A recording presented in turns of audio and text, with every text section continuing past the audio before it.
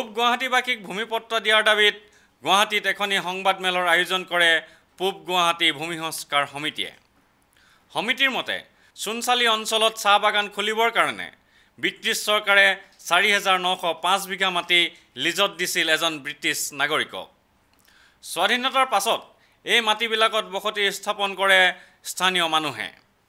এতিয়া এই মাটিখিনিৰ বাবে ন্যায়ালয়ত গোচৰ চলি আছে। প্ৰায় পোন্ধৰ হাজাৰ পৰিয়াল বসবাস কৰা অঞ্চলটোৰ মাটি অধিকাৰ সম্পৰ্কে সমিতিৰ সভাপতি দম্বৰুধৰ তালুকদাৰে কয় পূব গুৱাহাটী ভীমেশ্বৰ সমিতিৰ অন্তৰ্গত প্ৰায় এশ বিছখন উন্নয়ন সমিতি আছে আৰু এই উন্নয়ন সমিতিৰ মাটি টোটেল মাটি হ'ল তিনি হাজাৰ নশ বিৰানব্বৈ বিঘা মাটি। আৰু এই মাটিখিনি আচলতে ওঠৰশ ঊনষাঠি চনতে এটা ব্ৰিটিছ ফেমিলিক চাহ খেতি কৰাৰ কাৰণে দিছিলে আৰু ন- নে- নিৰান্নব্বৈ বছৰৰ কাৰণে দিছিল এই নিৰান্নব্বৈ বছৰ শেষ হৈ যায় ঊনৈছশ আঠষষ্ঠি চনত।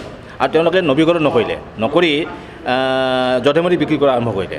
যেতিয়া তেওঁলোক মা- আমাৰ যিবিলাক মাটিহীন খিলঞ্জীয়া মানুহ আছিলে তেওঁলোকে দেখিলে যে মাটিবোৰ য'তে ত'তে বিক্ৰী কৰি আছে সেইকাৰণে তেওঁলোকে তাত বস বসতি আৰম্ভ কৰিলে। এই বসতি আৰম্ভ হৈছে প্ৰায় ছিক্সটি এইট মানৰ পৰা মানে নৱীকৰণ নকৰা সেই বছৰৰ পৰা আৰম্ভ হৈছে। আৰু তেতিয়া সেই দমৰেন ফেমিলিটোৱে পুলিচ বাহিনী আৰু গুণ্ডা বাহিনী লগাই ঘৰ চৰ ভাঙি মানুহ অত্যাচাৰ কৰিছিলে সেই সময়ত। আৰু তেতিয়াই সেই মানুহখিনিয়ে লগ লাগি আজি এই যিটো পূব গুৱাহাটী ভীমেশ্বৰ সমিতি নামৰ যিটো কমিটি চাৰি আগষ্ট নাইনটিন ছেভেণ্টিত এইটো আৰম্ভ হয়। আৰু তেতিয়াৰ পৰাই অহৰহ আমাৰ এই মানুহখিনি এই মাটিখিনিৰ কাৰণে মানুহ লাগি থাকিল। তেতিয়া অৱশ্যে মানুহ কম আছিল কিন্তু আজি আমাৰ প্ৰায় বিছ হাজাৰ ফেমিলি আমাৰ হাতত আছে আৰু চাৰি হাজাৰ বিঘা মাটি আমাৰ আণ্ডাৰত আছে।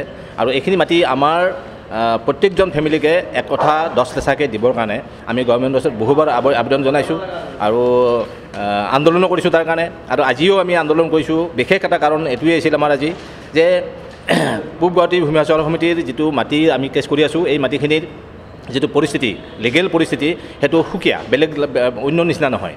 আনহাতে কৃষক মুক্তিৰ নেতা অখিল গগৈ আৰু বৃহত্তৰ গুৱাহাটীৰ ভূমি পট্টাকৰণ সমিতিৰ প্ৰণৱজ্যোতি ভঁৰালীক এই অঞ্চলৰ মাটি সম্পৰ্কে মন্তব্য নকৰিবলৈ সকীয়াই দি শ্ৰী তালুকদাৰে কয় আজি প্ৰণৱজ্যোতি কলিতাই হওক বা অখিল গগৈ ডাঙৰীয়াই হওক তেওঁলোকে যিভাৱে মাটিৰ কাৰণে কৰিছে এইটো ভাল কথা। আমি আমি তাত আমি তেওঁ আমি সহপাঠী তেওঁলোকক থাকিম।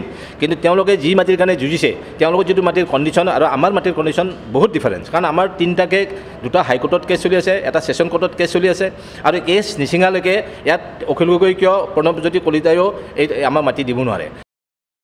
ভিডিঅ' জাৰ্নেলিষ্ট সুশান্ত দাসৰ সৈতে অমৰদীপ গগৈ চেণ্টিনেল নিউজ গুৱাহাটী।